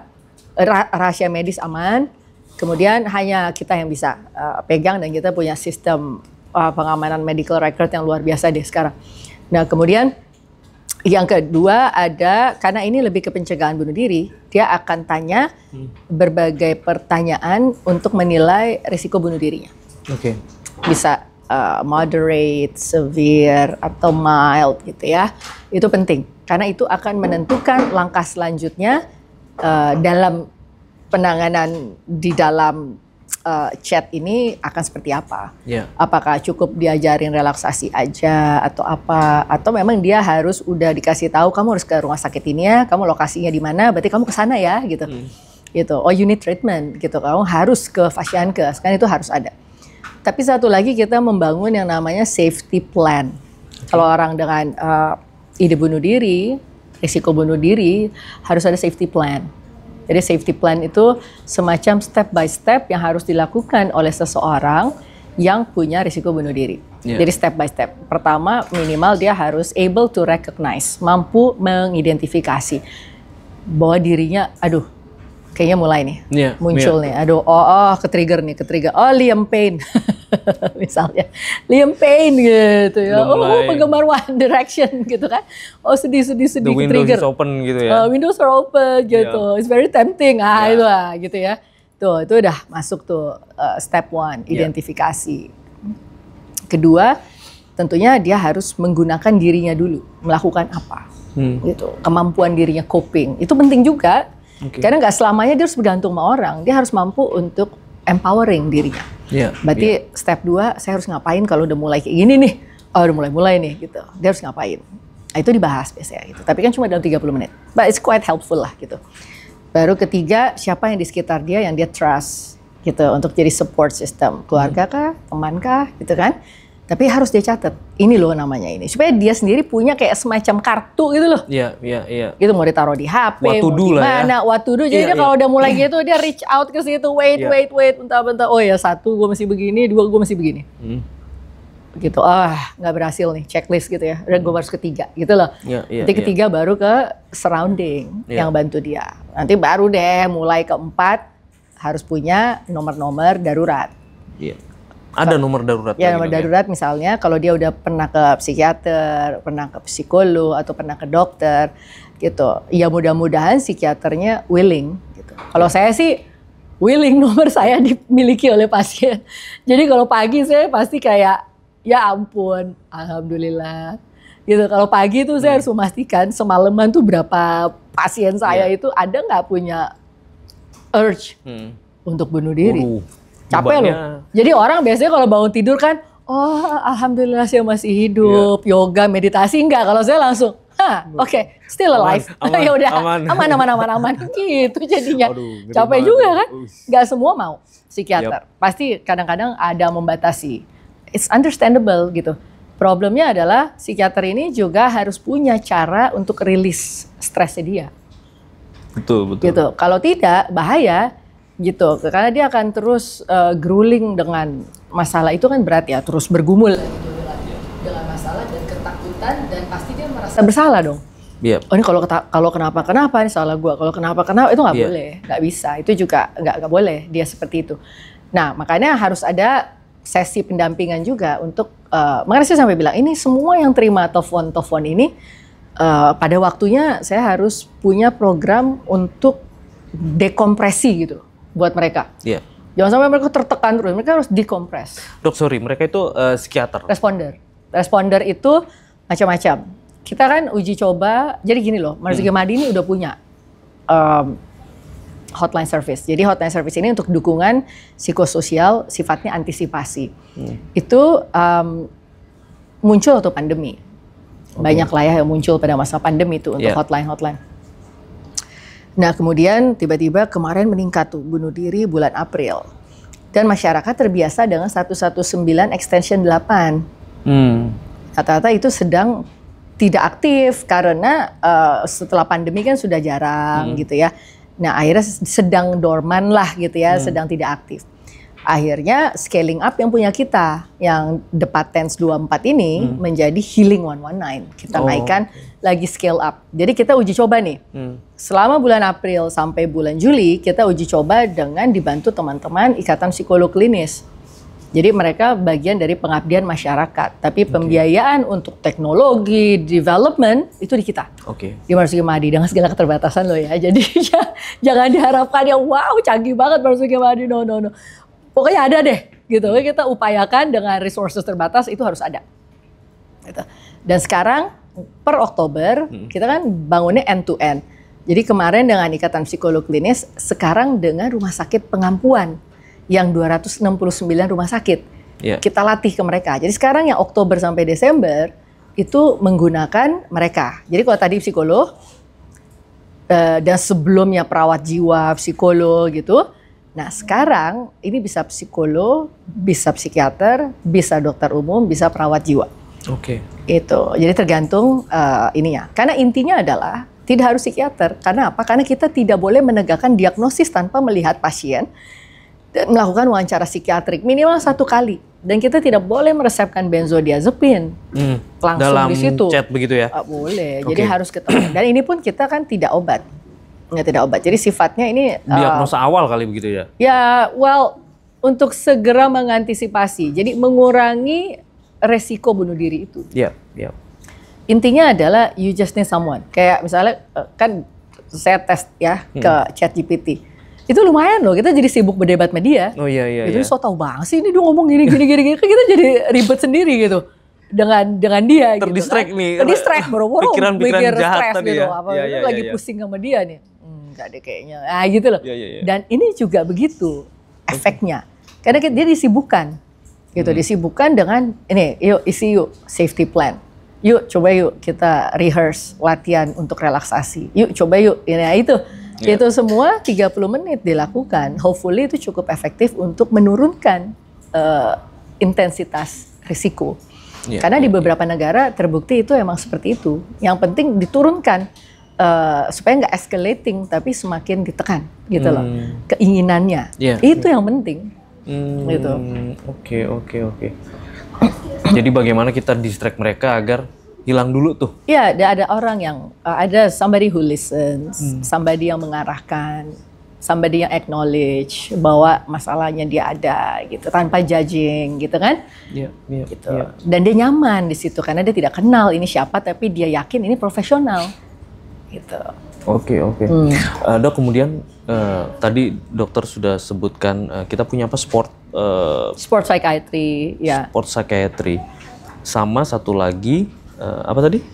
Youth Mental Health Center. Oke. Ya. Nah, ini kita sudah melibatkan komunitas-komunitas di remaja begitu, Dok. Nah justru kemarin, jadi kita sebenarnya udah, kita sudah, gitu. Bahkan kayak misalnya komunitas peduli skizofrenia Indonesia, itu salah satu gerainya dia dibuka di kita. Oke. Entah dia jual produk, makanan, apa itu ada di dalam. Jadi benar-benar hospital without wall deh. Jadi tidak harus kita melulu yang ke komunitas. Komunitas juga monggo silakan beraktivitas di Marzuki Madi. Jadi jangan sampai ini tempat stigmatis gitu loh Iya, iya, gitu. But you can have activities gitu, bisa jualan, bisa apa gitu di dalam, nggak harus di luar. Makanya kan sports Iya. yang kita eh, kita kembangkan ini, kita sih mimpinya sebenarnya, eh, misalnya Kemenpora deh, gitu. Kita kan cukup kuat nih diklatnya Hmm.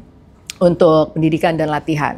Dan kita membayangkan eh, area area diklat kita lagi ada satu lah minimal yang mau kita bagusin banget. Jadi menjadi TC gitu. Training center kayak Oke. buat atlet gitu. Iya. Yang mana itu tidak harus untuk atlet aja, bisa untuk siapa saja. Cuma saya membayangkan harus ada tempat TC mungkin 10 bed aja, tapi itu bagus di situ. Oke. Minimalis tapi bagus, representatif lah untuk Bisa mereka di sana. Di sana bisa banyak tempatnya kan di Marzuki Madi kan lahannya luas. Tapi kan kita udah punya area diklat. Cuma ada yang mau saya bagusin Iya. eh, di situ. Karena fasilitas olahraganya sudah ada. Iya. Nah, kemudian tinggal eh, training centernya, asrama sih ada, ada. Cuma saya pengen lebih bagus aja gitu ya. Nah, kemudian tempat pelatihan mentalnya yang penting untuk atlet Iya. Gitu. Di tempat kita kan ada Pusbangkom, Pusat Pengembangan Kompetensi. Pelatihannya di antaranya adalah life skill gitu. Artinya decision decision making, critical thinking, creative thinking dan lain sebagainya.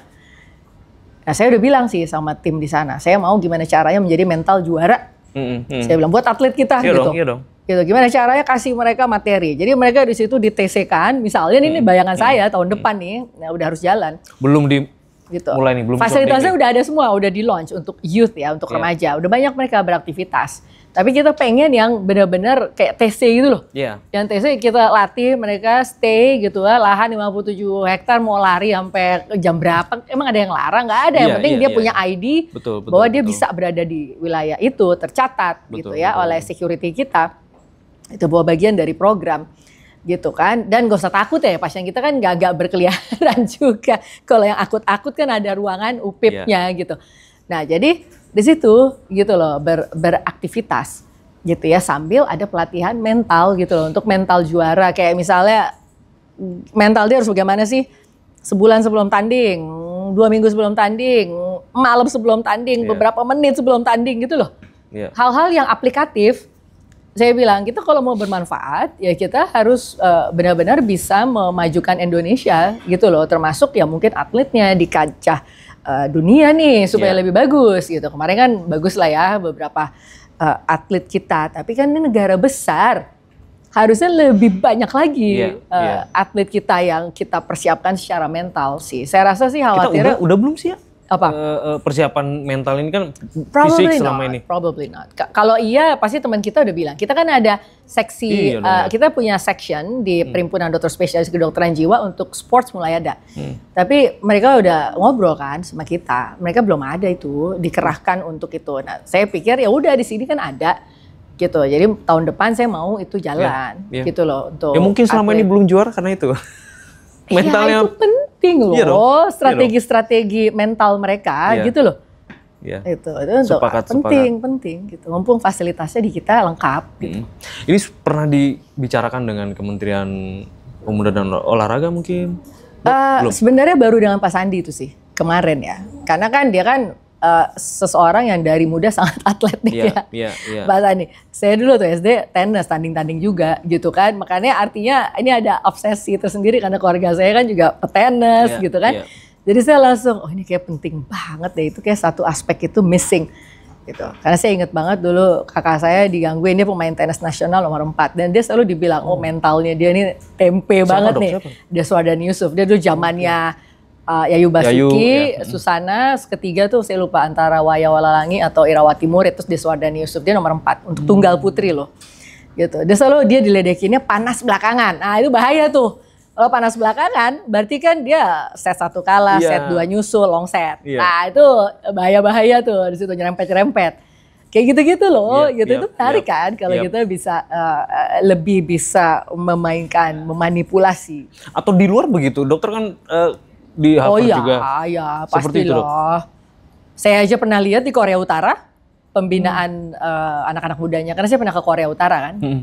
kunjungan parlemen ke Korea Utara, ternyata mereka punya satu palace, palace uh, istana buat anak-anak muda. Anak, Oke. Itu aneh banget sih. Lantai satu balet, Oh. lantai dua alat musik, lantai tiga hall gede-gede, basket, volley, gitu kan, terus musik. Iya, iya. Jadi kalau restoran-restoran di Korea Utara, jangan kaget, yang nyuci piring habis itu main drum. Terus yang ngelap-ngelapin meja, tiba-tiba habis itu main biola. Hmm. Terus tiba-tiba seriosa, kita sampai opera gitu nyanyinya. Kita langsung, gila ya, ini dari Dan mana sih jago mereka? mereka ini. Jago, tapi kan mau ngapain? Mereka kan tertutup, nggak Iya, ke mana-mana. iya, Jadi iya. ke keahliannya di dalam-dalam situ aja. Iya. Tapi kita kaget ada istana anak muda untuk remaja. Itu segitu korut loh ya. Korea Utara ada Indonesia. pembinaannya. Jadi saya Aduh. berpikir ya mungkin Marzuki Mading tidak bikin istana lah ya. Cuma minimal ada di area-area di klub Iya. kita ini cukup lah ada satu area training center buat mereka stay. Kemudian olahraganya ada, pelatihan mentalnya ada, udah itu aja. Atau dok harapannya deh dok di ini rezim udah berganti di kepemimpinan Presiden Prabowo Subianto Ya. apa nih untuk untuk eh, penanganan kesehatan mental Indonesia dokter berharap seperti apa Ya kita kan selalu bicara generasi emas. ya Eh, tapi kita jangan pendekatannya medis ya. Kalau menurut saya, pendekatannya jangan medis. Makanya tadi kan saya bilang, inovasi-inovasi kita itu lebih ke empowering, aplikatif, prestasi, terukur gitu loh. ya Gitu loh. Jadi remaja ini jangan kita hanya men- ber- apa, menangani mereka supaya ya minimal jangan bunuh diri deh, ya jangan begitu aja. iya iya iya Gitu loh. And then what? Gitu loh. Iya, nggak ada solusi Iya, gitu ya. maksud saya, saya ingin melihat mereka bukan sebagai kasus, case, mental problem. No, bahwa ada potensi besar yang ada di mereka. Tapi kalau kita sebagai praktisi kesehatan mental, ya apalagi kita, apalagi saya nih sebagai direktur utama kesehatan jiwa nasional, tapi kalau mere- melihat mereka hanya sebagai orang yang perlu disembuhkan, kasihan. Hmm. Saya melihat mereka harus empowering. Gitu loh. Dari cara apa saya empowering? Makanya saya mikir bahkan dengan segala keterbatasan kita, apa lewat sports? Gitu ya. Apakah lewat youth mental health center? Apakah kita kembangkan life skillnya? Iya. Apakah itu loh? Itu yang harus kita buat aplikatif untuk kehidupan mereka ke depan agar mereka jangan menjadi generasi yang tidak bisa ikut berprestasi uh, Iya. ke depannya. Dan berprestasinya itu bukan ikut-ikutan loh ya. Tapi menjadi otentik, tidak merasa penderitaan yang paling unik Yap. gitu ya. Tangguh, tapi tangguhnya ngapain sih? Tangguh tuh ngapain? Gitu loh. Tangguhnya itu adalah untuk menjadi the best version of themselves, menjadi versi terbaik dirinya. Yap. Gitu loh. Jadi itu yang makanya lewat mental health, authenticity itu yang mau kita Iya. uh, munculkan. Gitu loh, menjadi versi terbaik dari uh, dirinya. Jadi gitu sih Dan sebenarnya. ini ya. bukan bukan hanya Kementerian Kesehatan menurut saya, semua banyak kementerian yang harus kolaborasi ya. Betul, betul banget sih. Gitu. Jadi memang mental health ini eh, scope-nya sebenarnya sangat luas, sangat universal dan ada misi mulia yang harus eh, diemban. Jadi kalau kami di level pusat kesehatan jiwa nasional justru ya cukup keteteran karena kami kan sebagai pusat berarti mengurus rumah sakit vertikal itu sendiri. Tapi at the same time memikirkan tentang hal-hal yang semacam ini yang out of Iya. the box yang sebenarnya eh, kami berharap ada peran krusial, peran penting, mungkin ada sesuatu yang selama ini dalam penanganan remaja yang belum masuk, ya aspek mental health itu. Tapi bagaimana menerjemahkan mental health itu? Hmm. Gitu loh. So it's not a mental illness pendekatannya, it's a mental health, kesehatan mental yang produktif. Gitu. Dok keren banget sih itu Hmm. dok. Mudah-mudahan lah. Dan yang penting political will, Hmm. anggaran dong, politik anggarannya dong. Oh ya, kita sekarang kreativit kreativitinya tinggi banget. Mungkin kebanyakan life skill training, ya. kebanyakan pelatihan di- diri sendiri nih dipraktekin ya. Jadi Tapi dokter merasa creative. bagaimana sih selama ini? Apakah sudah sudah apa ya, berpihak begitu soal anggaran dok? Well, uh, jadi sebenarnya gini, anggaran kesehatan jiwa tuh scatter. Scatter tuh jadi gini, kita aja untuk menangani kesehatan jiwa kan ada dua ya. Jadi maksudnya ada Direktorat Jenderal Pelayanan Kesehatan, di bawahnya tuh banyak tuh rumah sakit-rumah sakit jiwa. Nah kita pusatnya. Tapi ada juga RSUD, tapi sorry, rumah sakit jiwa daerah Iya. ya rumah sakit jiwa daerah yang mana eh, itu juga ada layanan kesehatan jiwa. Jadi kan anggaran banyak dong, berarti sebenarnya ada yang di rumah sakit ini banyak itu untuk di Yankes. Tapi ada juga di bawah Direktorat Jenderal Kesehatan Masyarakat, di bawahnya ada Direktorat Kesehatan Jiwa. Jiwa. Itu tuh ada program juga di situ, tapi ini anggarannya tidak terlalu besar memang Hmm. kalau di sini. Nah, problemnya kesehatan jiwa is everywhere. Tadi kayak penanganan TB, TBC. Penanganan TBC itu kemarin USAID datang ke Marzuki Mahdi juga ke rumah sakit kami dan membahas aspek kesehatan jiwa dari penanganan TBC. Iya, iya, iya. Karena justru eh, banyak yang tidak compliant minum obat, apalagi ini lama treatmentnya. Ya belum lagi yang resisten obat. Iya. Ini butuh dikasih lagi dorongan untuk mau compliant, adherence-nya bagus terhadap uh, proses minum obat, menelan, mau menelan gitu Iya. ya. Itu. Jadi akhirnya mental health ikut lagi di dalam penanganan TBC uh, juga di Indonesia. Jadi kan artinya ini sebenarnya dia di mana-mana. Iya. Jadi scatter. Jadi sebenarnya anggarannya akhirnya ada di sini, ada di sini, ada di sini. Programnya juga ada di mana-mana. Jadi sebenarnya kalau menurut saya eh, kalau di Australia, cuma kan mereka sistem parlementer. Cuma kalau di Australia, zamannya Julia Gillard, perdana menterinya, itu ada Kementerian Kesehatan Jiwa. Iya loh. Itu itu di sana ya, itu betul, di betul, Australia. betul, Tapi betul. jangan salah, sesudah perdana menterinya ganti hilang tuh Oh, iya. kementerian. itu hanya pas Julia Gillard aja ada Kementerian Kesehatan Jiwa. Saya ingat nama menterinya Mark Butler deh, kalau tidak salah. Tapi saya sepakat dok, ini kan bukan hanya sebatas mengobati orang dengan gangguan jiwa, lebih tidak bisa, luas dari bisa. itu. Sepakat, Exactly. Iya. Dok, oh ya dokter juga eh, menulis buku ya. Sudah berapa sekarang buku dok? Eh, bukunya kan ada novel, Hmm. tapi juga ada buku-buku yang penelitian bunuh diri sih. Dia penelitian eh, bunuh diri. Oke. Kalau ini, ini kan misalnya nih jelajah jiwa, hapus stigma, otopsi psikologis bunuh diri dua pelukis. Ini adalah em, buku yang ditulis tahun 2000, sorry, penelitiannya 2007, 2007. tapi oleh Kompas diterbitkan 2020, Oh, Oke. gitu. Eh, karena Masih bunuh- relate ya atau bahkan masih semakin relate, ya mungkin Karena ya. ini tentang dua pelukis bunuh diri di Jogja. Oke. Terus tiba-tiba tahun depannya Falcon Pictures udah beli rights ini. Oh, di Tapi sampai sekarang saya belum selesai nulis skenario-nya. Oh. Sempet sih udah nulis 80 halaman, tapi saya dengan editornya belum klop terus nih. Oke. gitu oke, kan oke. kayak "Ah, bisa nggak dibuat agak Korea yang Iya, bener aja nih Jogja apa hubungannya sama Korea kan aku juga jadi bingung kan. Gitu kan. Ini kan seniman-seniman di Jogja nih. Iya, iya. Aku malah membayangkannya ini filmnya lebih art artsy tuh, eh, cultural yang bisa Oke, menampilkan Jogja banget. Lebih kayak masuk festival sih gitu Oke, kan oke. bayanginnya. Keynes lah ya. Nah, terus tiba-tiba bisa gaya Korea, Korea. Kayaknya langsung blank. Aduh. Dan sampai sekarang aku belum ngedit. Tapi no offense, aku suka sama oke, editornya. Coba kita belum ketemu aja nih uh, how to translate this into a movie streaming. Oke, oke. Streaming movie gitu. Harusnya kita mau ketemu sih, minggu ini ketemu lagi. Oke. Gitu. Cuma nggak kelar-kelar nih gitu kan. Aku bilang, ini kontrak kita bentar lagi berakhir loh ya. Aku Aduh. bilang, rights-nya udah mau selesai. Ini. Dan eh, ini terus yang kalau ini yang Boleh, tadi cegah bunuh diri remaja eudeteksi ini berdasarkan disertasi sih Hmm. yang aku mengembangkan instrumen ya untuk pencegahan bunuh diri. Cuma ini lebih dikupas gitu. Jadi artinya selain eh, kumpulan esai yang dulu saya sering tulis di koran, di majalah, ada juga novel zaman dulu banget tuh apa tuh Mahadewa Mahadewi gitu kan. Sempat tuh Lola Amaria, tuh ingat banget ya. Lola Amaria bilang mau filmin si Mahadewa Mahadewi. Dulu dia dengan siapa temannya Arya Kusuma Dewa. Oh iya, Arya. Mau filmin gitu.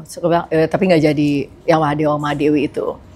Nah terus eh, akhirnya saya nulis skenario juga tuh, Merah Itu Cinta. Hmm. Dengan Rako Prianto, Oh, iya, saudaranya iya, iya, iya, iya. gitu. Yang main Marsha Timothy, Timothy. Gary Iskak, Yap, yap, Yama yap, Carlos gitu ya. Itu eh, eh, tulisan-tulisan yang ini based sama termasuk yang tadi based on true story ya? Kalau ini ya, karena ini kan research kan. Kalau Iya, ini research based, tapi kalau yang novel-novel enggak, kalau yang uh, skenario bukan. Skenario kebanyakan treatment dari diskusi sama Rako. Hmm. dulu. So, ada novel-novel ya kalau novel kumpulan saya sama saya dulu tuh kayaknya terkenal penulis dua mingguan. Jadi dalam dua minggu bisa kelar mentranslate skenario menjadi novel. Uh. Itu jadi apa sih novel kecuali film betinanya Lola Amaria ya. Itu saya bilang ini gimana ya saya menerjemahkan dialog antara sapi dengan orang. Akhirnya menjadi novel interpretatif eh, betina, eh, film betinanya Yap, Lola yap. Amaria tuh dulu tuh. Gitu kan. Sekarang kan dia oke banget dong, Iya. Exil gitu. Yang film betina aku bilang ini gimana ya? Eh, Hanya sapi sama Kinaryosi yang main. Iya. Saya bisa mikir, sapinya lagi mikir apa ya? Jadi nulis novelnya bingung tuh dulu tuh yang akhirnya menjadi novel interpretatif karena Iya. berusaha menerjemahkan apa yang lagi dipikirin antara sapi dan kinariosi gitu ya, pusingnya dulu. Itu sih. Cuma sekarang aku lagi nulisnya Dan ya, uh, aku tadi mau- Another Book of Failure. Oke. Another book. Maksudnya buku um, sebenarnya buku yang yang berusaha untuk menjungkir balikan tentang oh ya udahlah. Jadi judulnya so far adalah uh, CV of Failures. CV of failure. Curriculum vitae of Failures. Uh, dalam nih. CV of Failures. Kan kita tuh biasanya hidup itu CV itu isinya bagus-bagus ya. Iya. Gitu kan. Sampai HRD kan kalau ketemu uh, maunya success story. Iya. Padahal mungkin seharusnya HRD sekarang nanyanya, how many times did you fail? How many times did you get up? Hmm, hmm, hmm. Harusnya pertanyaannya gitu. Gitu loh. Kita terlalu glamorizing sukses. Kita lupa rebound story-nya dia, cara dia bangkit. Nah itu bukunya. Ini Oh, sebulan, menarik, menarik. sebulan lagi nih terbit. Eh Kita sebulan bedah lagi dong, terbit. Sebulan lagi harus kelar. Oh, se- oh, belum belum selesai. Itu tapi PR ini. konsepnya udah mateng, konsepnya udah lagi proses nulis Oke, gitu. oke, oke, oke. Tapi ya itu um, CV uh, CV of failures. Jadi subtemanya intinya adalah uh, menavigasi ya. Jadi artinya mena- menavigasi kegagalan gitu. Uh, jadi merubah mindset ya, merubah mindset kita gitu bahwa kegagalan itu adalah bagian dari sebenarnya success story kita gitu loh. Bagian dari success story kita adalah kegagalan itu dan justru itu yang menunjukkan resiliensi kita gitu loh. Oke, Sedangkan kita malu menampilkan itu. Makanya buku ini malah a CV of failures gitu. CV Keren, of keren, keren, failures. keren, keren, keren. Ya, Dan saya itu based pengalaman-pengalaman ini dong. pengalaman saya, beberapa kristalisasi, beberapa pengamatan. Jadi men- mendekonstruksi karena kalau kita sibuk dengan mengumpulkan keberhasilan, bukan kita sengaja untuk gagal, cuma artinya embracing ya, embracing kegagalan. Jadi jangan jangan kita kita malah malu sendiri nggak sih? Orang belum menghina kita, kita udah menghina diri kita sendiri Iya. atas kegagalan itu. So I'm trying to deconstruct gitu loh, mendekonstruksi itu loh. Menarik, gitu. menarik. Jadi menghargai kegagalan kita Embrace. gitu embracing itulah Keren, gitu. keren, keren. Dok, terakhir nih dok. Hmm. Eh, satu satu pesan deh dok untuk terutama untuk para orang tua ya Hmm. untuk lingkungan ketika melihat remaja mereka eh, apa ya ada ada ada potensi eh, terkena gangguan mental ya seperti apa dok? D- mindsetnya mereka atau Mindset dan what to do lah. waktu Iya. so ah, konsep parenting itu em, oke ini menarik katanya anak lahir seperti kertas putih gitu ya Yap. it's how we draw, it's how we design or whatever sebagai orang tua. Uh, tapi jangan lupa bahwa the drawing or the conceptual whatever yang kita tuangkan dalam kertas putih itu bukanlah perwujudan dari apa yang tidak bisa kita achieve selama kita muda. Sepakat. This is an entirely different person. Yep. Gitu loh, karena kebanyakan masih orang tua menitipkan values, menitipkan apa ke anak-anaknya. Gitu loh. Ya, emang harus ada values, benar. Gitu. Nggak bisa anak-anak ini bergerak tanpa values ke depan. Gitu. Tapi menitipkan mimpi, menitipkan cita-cita. Nah, itu masih dilakukan oleh uh, orang tua Orang tua. ke anak. It's unfair kalau menurut saya Iya. gitu loh. Sebenarnya konsep merdeka belajar itu sih saya menerjemahkannya adalah dia benar-benar punya freedom dalam menentukan masa depan dia berdasarkan dirinya yang paling otentik kan gitu. Iya. Gitu. Jadi ya parents harus selalu ingat satu pernah muda gitu kan. Iya. Jadi apa ke- kesalahan-kesalahan dia di masa lalu itu harus disikapi bahwa dia berhasil melampaui itu makanya dia bisa menjadi parents. Itu harus bangga. Kadang-kadang orang tua paranoid kegagalan dia dan dia Iya. tidak mau itu terjadi ke anak ya nggak bisa. Adu nasib mungkin. Iya, ini- Mamah dulu gitu. Ya, ya. Kecemasan itu jangan berusaha kecemasan karena kita berusaha mengendalikan yang tidak bisa kita kendalikan. Yap. Gitu loh. Masa sih kita mau memastikan kamu nggak mengalami ini nggak bisa lah. Kita nggak akan pernah tahu ada namanya whatever lah. Ini mungkin ahli agama yang lebih paham gitu istilah takdir, nasib gitu ya itu lain ya kita nggak ngerti tuh. Kodok, kodar itu udah- itu ada lain tuh urusannya. But you cannot make sure your past failures tidak terjadi ke si anak. Pengalaman tidak bisa dititipkan. Iya. Satu itu itu penting. Gitu loh. Dan cita-cita juga tidak bisa diwujudkan lewat anak. Itu aja dulu. Gitu. Dan jangan pernah lupa dia pernah muda. Gitu Iya. loh. Jadi biarkanlah mereka juga eh, berbuat kesalahan, bangkit dari kesalahan. Gitu ya. Sehingga dia benar-benar menjadi orang yang resilient. Gitu. Itu aja sih Iya. sebenarnya ya. Sambil Sebagai- tetap dikontrol begitu ya dok ya. Iya, tetap dalam parental control gitu kan Siap. gitu. Tapi kontrolnya jangan mengendalikan yang tidak bisa dikendalikan, itu tidak bisa. Mengendalikan jam pulang, oke, Iya, iya. gitu ya, itu mah oke lah wajar gitu kan. Jam pulang jam segini ya, gitu ini nih, oke, gitu. Itu kan namanya order, Yap. rules, order itu harus ada. Dok sebetulnya masih banyak pertanyaan, cuman eh, sudah cukup lama juga ya. Hmm. Oh, udah lama ya? yang ini yang lihat bosen kelamaan. Tapi eh, saya pengen nanti kita ada sesi-sesi diskusi lagi dok. Hmm. Dan saya juga eh, pengen banget dan memastikan banget bahwa kita nanti akan bantu kawal nih mimpi-mimpi dokter tadi keren Oh banget. tuh. iya iya iya makanya aku memang uh, perlu dibantu ini untuk mewujudkan pasti. mimpi karena kasihan pegawai-pegawai kita di Marzuki Madi udah pada terseok-seok mungkin udah pada ngesot ikut mewujudkan apa yang Iya. uh, udah uh, kita mimpikan gitu ya. Siap. Ya, kasihan juga sih kadang-kadang pegawai-pegawai juga lelah lah ya gitu. Karena mereka kan punya satker, satuan kerja yang juga harus diurus rumah sakit. Iya. Siap. Terima kasih sekali Ya, lagi. Kasih selalu. ya Mas Riki ya. Dokter Nova Rianti Yusuf. Ya.